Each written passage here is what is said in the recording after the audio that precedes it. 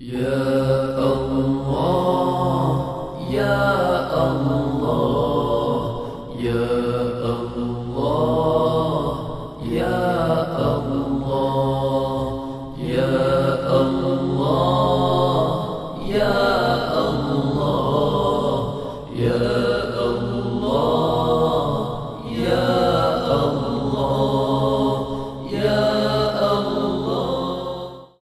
أعوذ بالله السميع العليم من الشيطان الرجيم. بسم الله الرحمن الرحيم. وبه نستعين. والصلاة والسلام على محمد وآله الطيبين الطاهرين. اللهم صل على محمد وآل محمد وعجل فرجهم.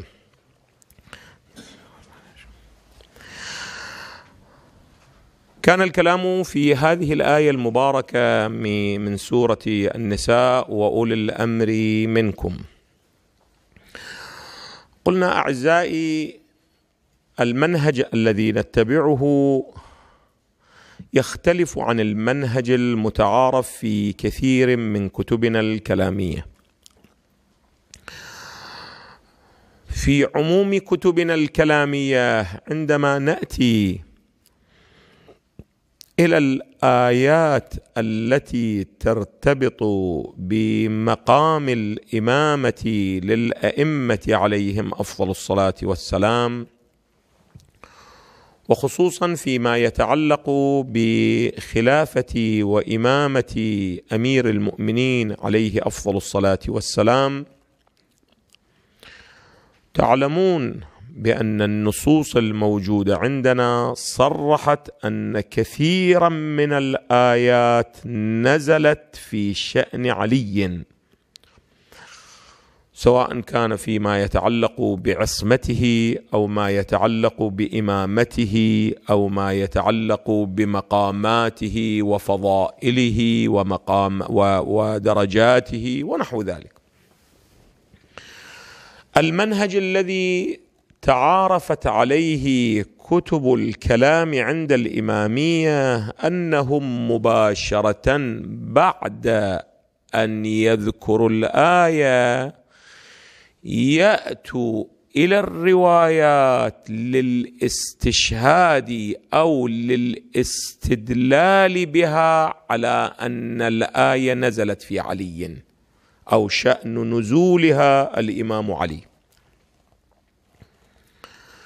من غير الوقوف على البحث التفسيري والمضموني لنفس ماذا؟ لنفس الآية المباركة. وهذا المنهج الأعزة إذا يراجعون يجدون بشكل واضح يجدون ذلك لا أقل في كلمات العلام الحلي يجدون ذلك في التبيان للطوسي يجدون ذلك بشكل واسع النطاق في العبقات للكنهوي يجدون ذلك في المتعارف بأيدينا في الغدير للعلامة الأميني وغير ذلك مما كتب على هذا المنهج. في المقابل الآخر بغض النظر أنه عدو أو ليس بعدو الاتجاه الآخر الاتجاه الآخر الذي لا يؤمن بمثل هذه المقامات والدرجات والامامه والخلافه والنص ونحو ذلك لعلي ماذا فعل أعزائي؟ لم يأتي إلى هذه الآيات وإنما جاء إلى المناقشة عن طريقين. التفتوا لي أعزائي إذا تريدون تكتبون تكتبون رسائل علمية أو تبحثون اذهبوا بهذا الاتجاه حتى يمكنكم أن تقفوا أمام ماذا؟ أمام الآخر. ولو عند السؤال أعزائي لماذا تفترض أن كل من سأل هذا معادي ناصبي خارجي؟ لا ابدا. أنت تقول هذه الآية في علي يقول بابا عندي كم سؤال أجبني حتى لو كان شيعيا. أنت تقول هذه الآية. بسم الله الرحمن الرحيم. هذه الآية المباركة وهي قوله تعالى في سورة البقرة الآية 125 وهي قوله تعالى قال ومن ذر إني جاعلك للناس إماما. قال ومن ذريتي. قال لا ينال عهد الظالمين. قل انظر هذه الآية وردت في علي. مباشرة يقول لكم بينكم وبين الله أين عقولكم؟ أخر هذه الآية نازلة في من؟ ها؟ في إبراهيم. خش شنو علاقة علي بن أبي طالب؟ شنو علاقة؟ بينوا لنا وجه الارتباط. أنت ماذا تفعل مباشرة؟ ها؟ ماذا تفعل؟ المنهج المتعارف ماذا يفعل؟ يقول رواية. أحسن. شوفوا. إذا البحث البحث المضموني والتفسيري في الآية عموما ماذا؟ غائب في عملية الاستدلال. وهذه هذا هو الخلل الاستراتيجي إن صح التعبير في عمليات الاستدلال بالآيات على مقامات الإمام أمير المؤمنين عليه أفضل الصلاة والسلام. ولذا هم وجهوا إلينا الإشكال من جهتين خلي ذهنك يمي الجهة الأولى التي وجهوا إليها إلينا الإشكال وهو ما أسهله على مبانيهم أنهم ذهبوا إلى هذه الروايات فضعفوها سندا وأسقطوها عن الاعتبار. لا تقل لي وردت في تفاسيرهم في كتبهم الحديثية في مصادرهم. الجواب هو لم يكتب لافته على على على كل كتبه. يقول كل ما ورد في كتبنا التفسيرية والحديثية فهو صحيح معتبر عندي ألتزم به. إذا كان يقول هالشكل مباشرة أن تقول ألزموهم بما ألزموا به انفسهم هو فقط هاي اللافتة وين كاتبها أعزائي؟ ها؟ في صحيح البخاري وفي صحيح ماذا؟ مسلم. يقول جيب لي من البخاري والزين هماتي أنا مو جزافا جعلوا البخاري الأصل ومسلم الأصل لأن البخاري هواه كان امويا لم يقترب من مثل هذه الروايات فلن تجد لها اثرا هذه الروايات لا البخاري ولا المسلم إلا نادرا. فلهذا أين تذهب عزيزي؟ أين تذهب؟ تذهب بعد إلى السنن تذهب إلى المسانيد. والسنن والمسانيد فيها صحيح وفيها ضعيف. تذهب إلى التفاسير والتفاسير فيها روايات صحيحة فيها روايات ماذا؟ ضعيفة. ودليلهم واضح. يقول بينكم وبين الله هل أنتم تلتزمون أن كل ما ورد في كتبكم الأربعة بل في كتبكم الثمانية والمحددين السبعة عندكم بل في كل مصادركم التفسيرية وكتبكم التاريخية تلتزمون بصحة رواياتها؟ تلتزمون؟ ها؟ أكو أكو عالم شيعي أكو أصلا طلب الشيعي يلتزم كل ما ورد في كتبنا التاريخية والتفسيرية والروائية صحيح يستطيع؟ بيني وبين الله هواي في كتبنا التفسيرية والروائية والتاريخية أكو ما يؤيد آراءهم مولانا لو ما يوجد لا والله يوجد. أنت ماذا تقول؟ تقول لا يا عزيزي نحن عندنا مبانينا نقبل ونرفض نلتزم ولا نلتزم يقول كما أنتم كذلك نحن كذلك إذا المنهج الأول الذي حاربكم به الطرف الآخر أو دخل معكم المعركة وهو أنه جاء إلى النصوص التي استندتم إليها في كتبه الحديثية والتفسيرية والتأريخية فغربلها ونقدها ماذا؟ سنديا أعزائي فإذا أنت عالم ومحقق تريد أن تدخل المعركة لابد ماذا؟ أن تحد سلاحك جيدا وأن تهيئ نفسك أنك إذا تريد أن تستدل لابد أن تستدل بالروايات ما هي؟ قل معي ما هي؟ الروايات الصحيحة السند عندهم لا مطلقا الروايات ماذا؟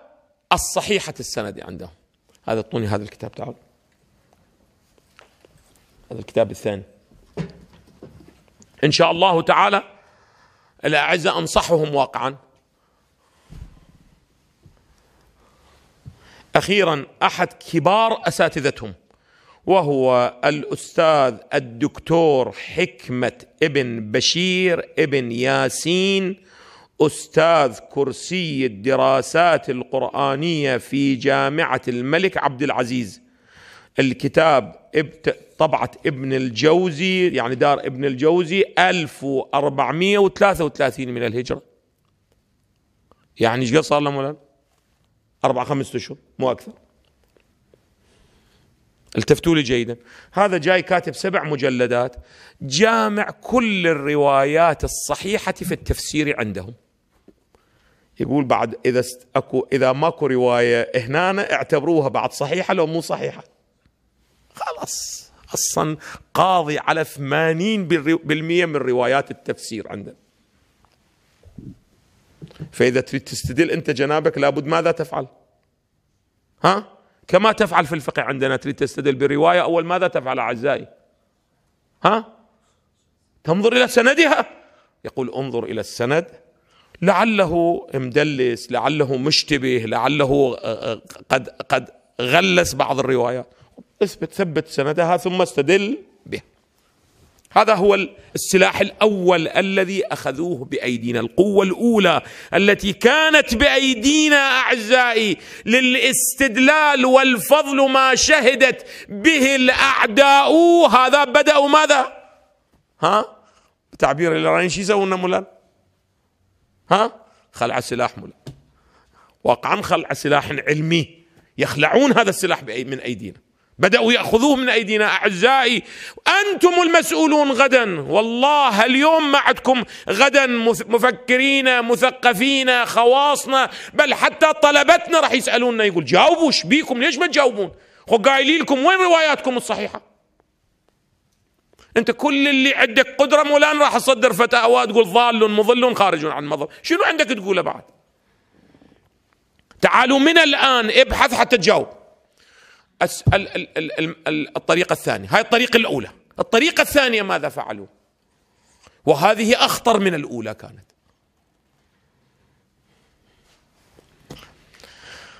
هذه أبحاث أعزائي منهجية في التفسير وفي, وفي, وفي علم الخلاف عندي. خلي ذهنك. ولا عند القوم ما موجودة. أنت أرجع الآن الغدير ما موجود هاي الحالة. طالع اليوم روح طالع الغدير. أخذ الآية إنما وليكم تجد أنه يبدأ من القرن الأول. ورد في تفسير كذا وكتاب كذا وتاريخ كذا والى آخره. يابا هذه الروايات بعض الأحيان من باب لا تخلو العريضة. فد بحثين ثلاثة في السند والأو. وإلا يعدد لك. وقد وردت في 150 مصدر أنت تقول بعد شنو المطلوب؟ ولكن هي في واقعها ماذا؟ رواية واردة في تفسير في القرن الثالث ومن جاء بعده نقلها. بينك وبين الله رواية واردة ضعيفة السند في التهذيب. إذا 200 فقيه من فقهاء الإمامية ذكروها في كتب الفقهية. يعني تصير رواية صحيحة السند ذكرها 200 نفر. ها؟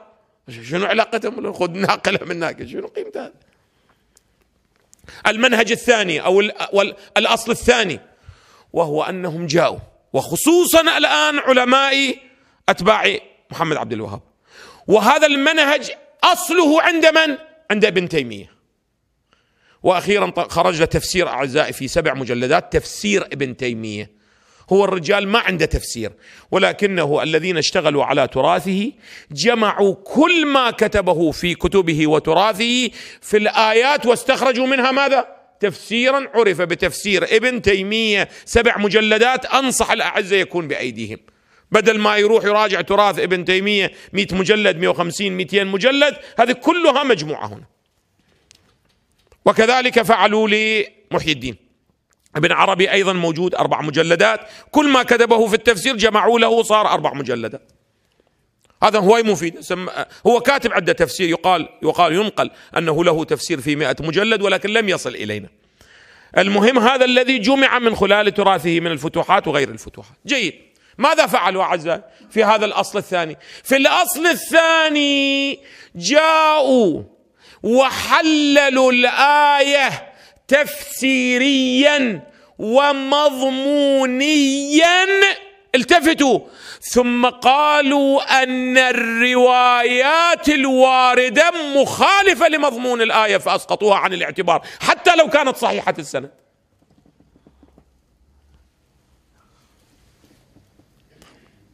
كما في آية المباهل.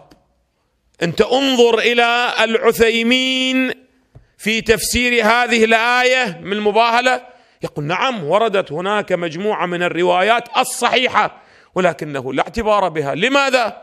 لأنها مخالفة لمضمون الآية المباركة. ومن هنا فهي التفت فهي من موضوعات الرافضة التي دخلت إلى تراثنا. انتهت القضية.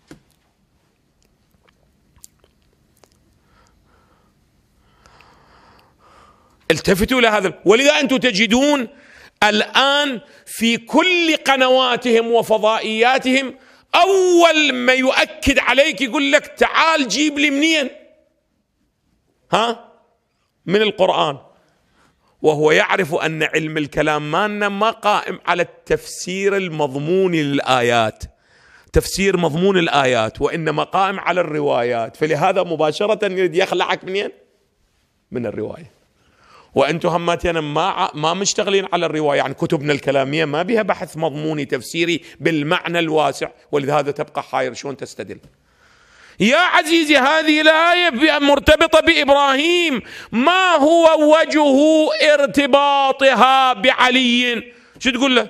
تقول له والله الإمام الصادق قال مرتبطة أنا ما أقول مرتبطة. غير شيء عندك استدل مع أن الآية المباركة واقعا تتوقف على لا أقل خمسه إلى عشر مقدمات حتى يمكن الاستناد إليها ماذا؟ أنها تفيد عندنا في الإمام. اولا ما معنى الجعل في الآية؟ إني جاعلك للناس إماما، ما معنى الجعل؟ أنت إيش تدعي مولانا؟ تقول اذا الامامه بالجعل والنص مو هالشكل تدعي؟ لو غير شيء لو واحد قال لك منو قال هذا الجعل في الآية بمعنى النص؟ تقول الآية تقول وجعلنا يقول القرآن استعمل الجعل في التكوين أيضا. قال وجعلناه جعلنا منهم أو جعلناهم قردة. شنو؟ خاسئين.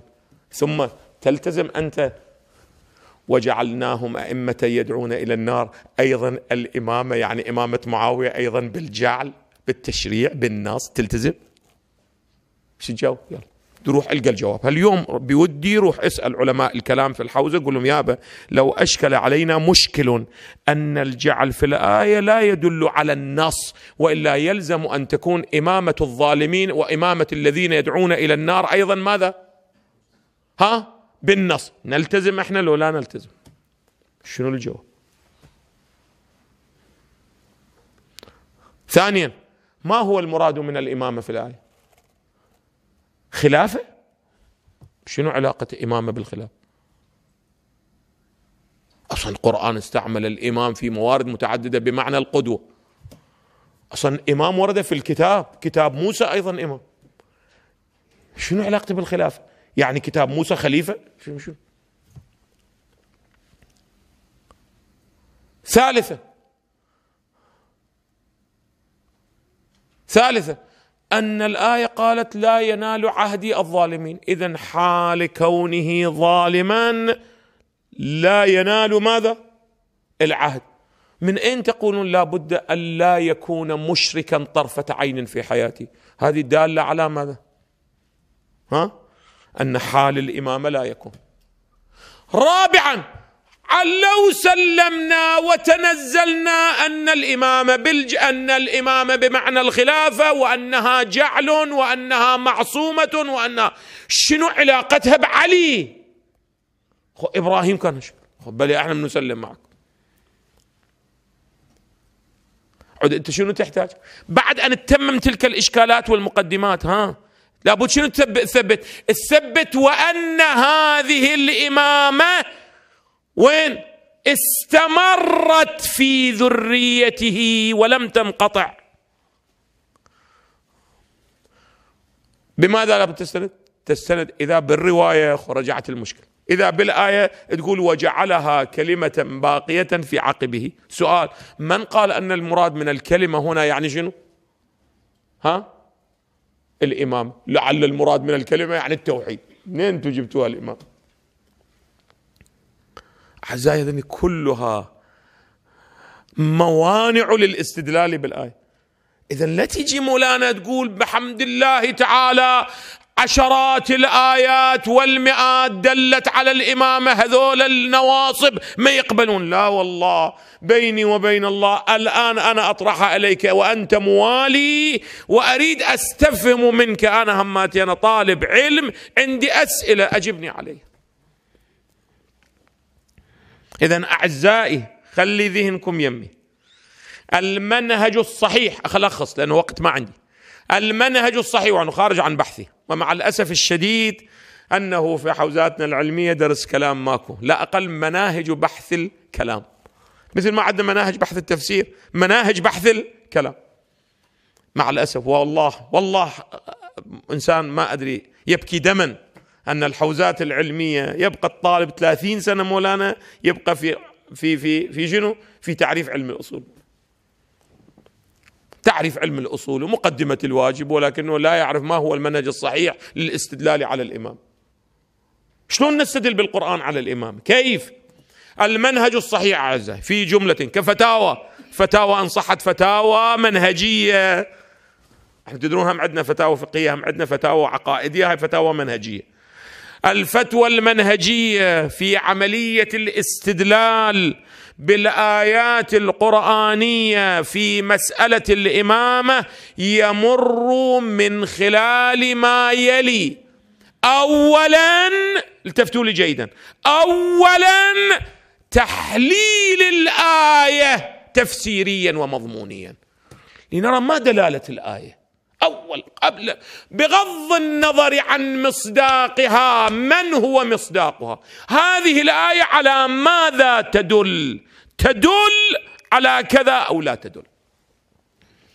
عندما نأتي إلى قوله تعالى إنما يريد الله ليذهب عنكم الرجس أهل البيت ويطهركم تطهيرا. ما هو دلالة الآية المباركة؟ دلالتها شنو؟ أصلا أهل البيت خلي يكون من يكون؟ مو مهم عندنا المصداق. ذاك البحث أنا وتقول لي السبب لماذا تنحو هذا المنحى؟ لأنه التفتوا جيدا لأن دلالة الآية في كثير من الأحيان هي تعين المصداق منه وتخرج وتدخل في الآية.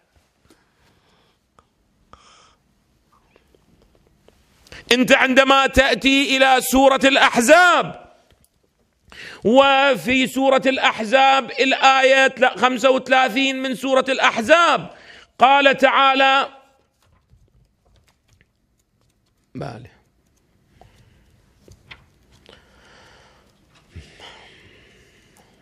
بلى.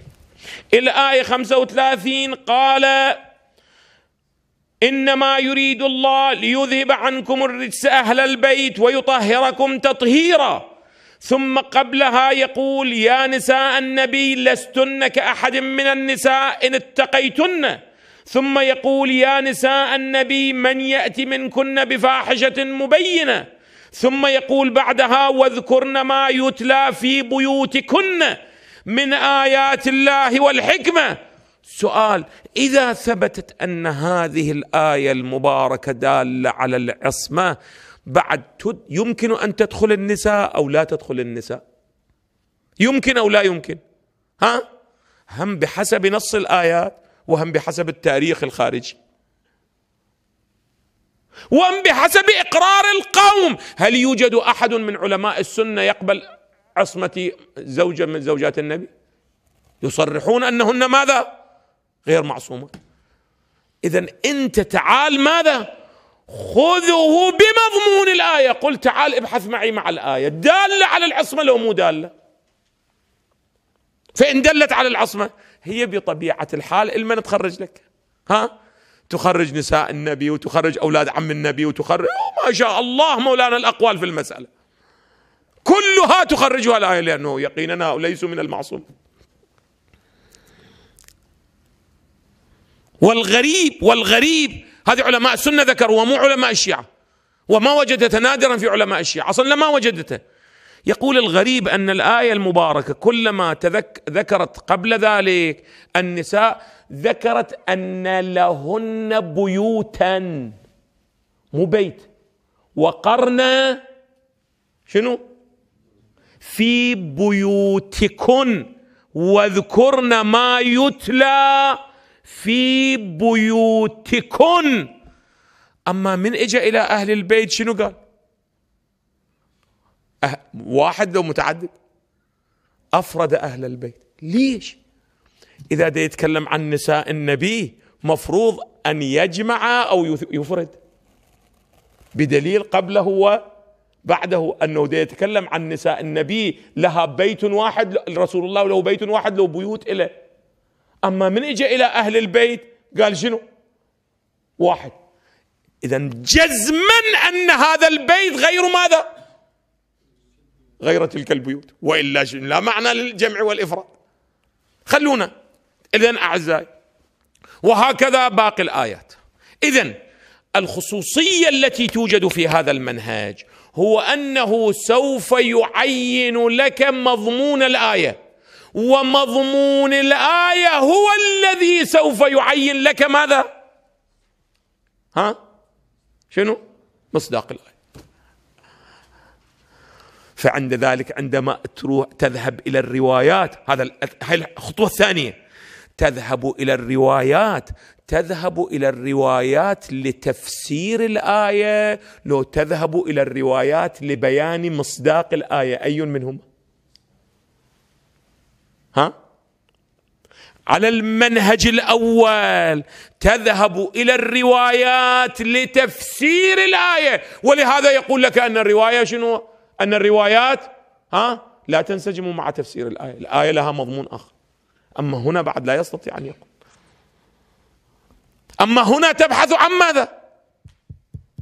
عن شنو؟ عن مصداق الآية.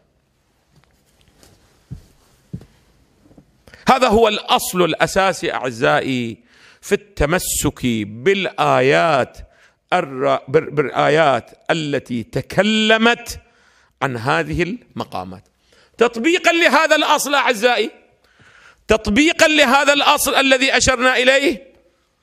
الآن بعد نرجع الآن مرة أخرى إلى تفسير الرازي الجزء العاشر صفحة 116 قال والدليل على أن الله تعالى أمر بطاعة أولي الأمر على سبيل الجزم فثبت أن الله تعالى أمر بطاعة أولي الأمر على سبيل الجزم وثبت أن كل من أمر الله بطاعته على سبيل الجزم وجب أن يكون معصوما عن الخطأ.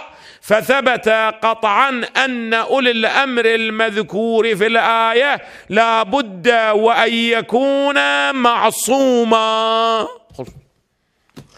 أنت بناء على هذا بعد يستطيع أن يقول لك بأنه حتى الفاسق الفاجر. هم هو شنو؟ ها؟ مصداق يستطيع أو لا يستطيع بعد؟ هاي النظرية تبقى أو تسقط عن الاعتبار؟ هي هو يسقط عن الاعتبار خلاص. مضمون الآية يسقطها عن الاعتبار خلاص. حتى لو عندك 100 رواية صحيحة السنة روايات العرض على الكتاب ماذا تقول؟ يقول اعرضوها على كتاب ربنا فإن وافق فخذوه. وإلا فأضربوا به عرض الجدار. أصلا إحنا نتكلم وياكم بلغة القرآن مو أنتم تعالوا تعالوا تعالوا. تقولون بأن الحاكم تجب طاعته حتى لو فعل ما فعل حتى لو ضرب ظهرك وأخذ مالك كما في صحيح مسلم. تقول له يا ضرب ظهرك أخذ مالك مولانا شرب الخمر. لا. الآية قالت أولي الأمر الذين تجب طاعتهم لابد أن يكون شنو؟ معصوما ولذا تجد المحققين من المفسرين منهم حاروا في أنه من هو هذا المعصوم. انتهوا آخر الأمر إلى أنه إجماع الأمة. طبعا هم هماتين هم يصرحون تستطيع أن تلزمهم واقعا بما ألزموا. يقول لا توجد عندنا في أي مسألة إجماع في الأمة. هم يقول.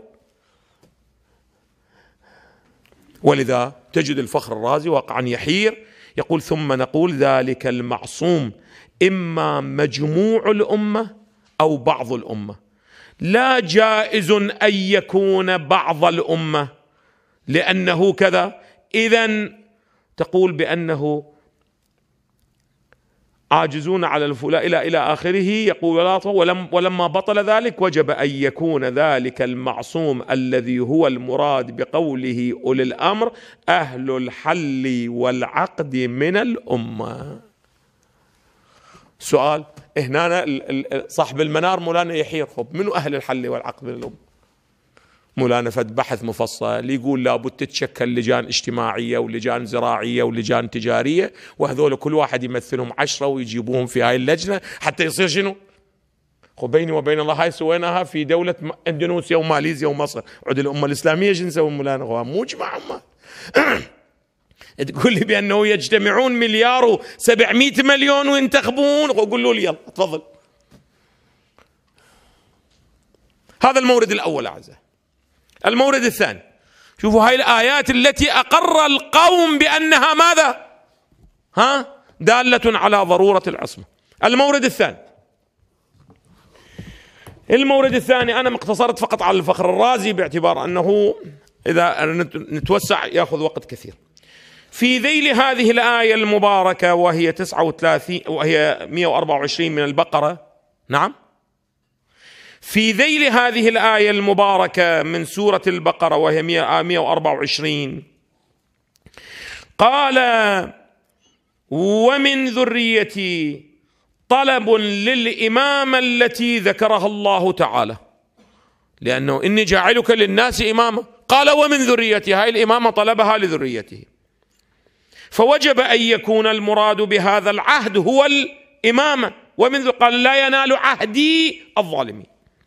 ليكون الجواب مطابقا للسؤال. فتصير الآية كأنه تعالى قال لا ينال الامامه الظالمين وكل عاص فإنه ظالم لنفسه. فكانت الآية دالة على ما قلناه. فإن قيل خلي ذهنك يمي انظر إلى العبارة. فإن قيل ظاهر الآية يقتضي انتفاء كونهم ظالمين ظاهرا وباطنا. بحسب الظاهر عرفنا. باطنا شلون نتعرف هذول من لم يعصوا الله؟ ولا يصح ذلك في الأئمة والقضاة. لماذا؟ لأنه نحن نعرف عدم ظلمهم وعدم عصيانهم. ظاهرا. أما باطنا بعد يحتاج إخبار ماذا؟ شنو؟ هذه هي العصمة اللي إحنا نقول بأنها تحتاج إلى شنو؟ ها؟ إلى النص ولذا أعزائي احفظوا هذا الأصل عندي. النص في اعتقادي ليس لإثبات الخلافة. النص لإثبات العصمة. هذا المشهور عندنا أن النص لإثبات الخلافة لا. النص لإثبات شنو؟ المعصوم. فإذا ثبت ثبت كونه معصوما بعد هل يحق لغيره أن يتقدم لإمامة الأمة غير المعصوم مع وجود المعصوم؟ لا يحق له. هسه ذاك بحث آخر. جيد. فنقول قلنا يقول فإن قلت ظاهر الآية يقتضي كونهم ظالمين ظاهرا انتفاء كونهم ظالمين ظاهرا وباطنا. قلنا التفت. قلنا أما الشيعة فيستدلون بهذه الآية على صحة قولهم في وجوب العصمة ظاهرا وباطنا. التفت. هاي الشيعة أنت شو تقول؟ يقول وأما نحن هواي بتعبيرنا على همس يقول وأما نحن فنقول مقتضى الآية ذلك. إي والله حق وياهم. إلا أننا تركنا اعتبار الباطن لأنه ماكو شارة وإلا إذا يجي قلنا ما يبقى عندنا أحد.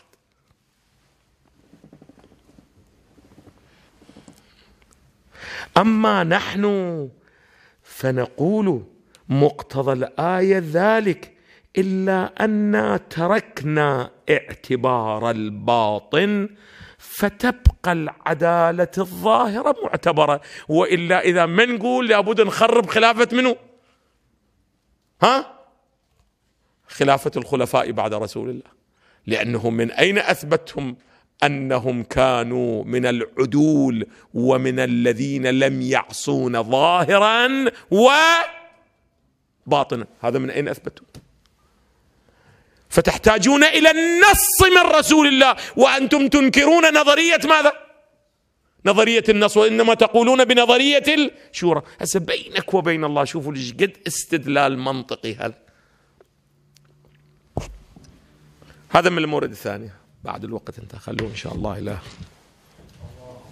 اللهم صل على صاد قلوب الأمم بجمال وشرف. حل في ساحة وادي سلمي وعلى الركن ورد. ليس في العرب ولا في العجم مثله رطب الجسد. صحت لما حل في الملتزم وعلى الحجر ورد آيا الخيف وبان العلم مدد